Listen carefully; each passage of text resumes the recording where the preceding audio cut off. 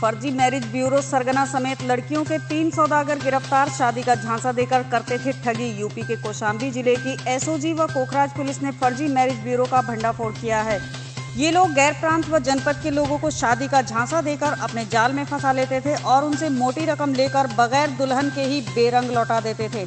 ज़िले में ये खेल काफ़ी लंबे अरसे से चला आ रहा है, लेकिन इस खेल का पर्दाफाश पिछले हफ़्ते एक भुक्तभोगी की शिकायत पर हो गया। पुलिस ने लड़कियों का सौदा करने वाले फर्जी मैरिज ब्यूरो का सरगना समेत तीन लोगों को गिरफ़्तार कर जेल भेज दिया। इनके कब्जे से छियासी हज़ार व जेवरात भी बरामद हुए।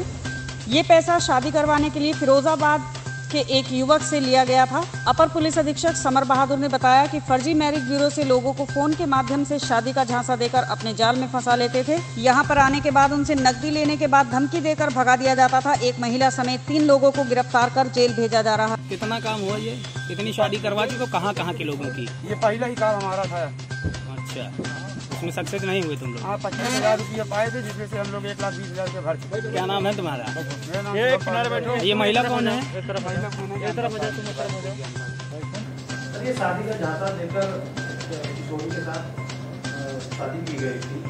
क्या है पूरा मामला? उसमें कितने लोग पकड़े गए? क्या खुलासा थाना कोखराज क्षेत्र में एक खुलासा हुआ है, जिसमें कुछ लोग फर्जी शादियाँ कराते थे तो पीड़िताओं को बुला के और उनसे शादियाँ कराते थे और फिर पुलिस बुला के उनको भगा देते थे और उनका जो धन रहता था गहना रहता था, वो उठा ले जाते थे। इस टाइप की सूचना पे थाना कोखराज पुलिस ने काम किया और इसमें तीन लोग अरेस्ट हुए हैं और जो अरेस्ट होने हैं, उनकी कार्रवाई कर दी क्या ये मैरिज ब्यूरो जैसे ये इस टाइप के सारे काम करते थे जो इससे इन्वॉल्व हो सकते थे। जिस तरह से भी ये धोखाधड़ी कर सकते थे, सारे करते थे। बाकी चीज़ें विवेचना कर सकती है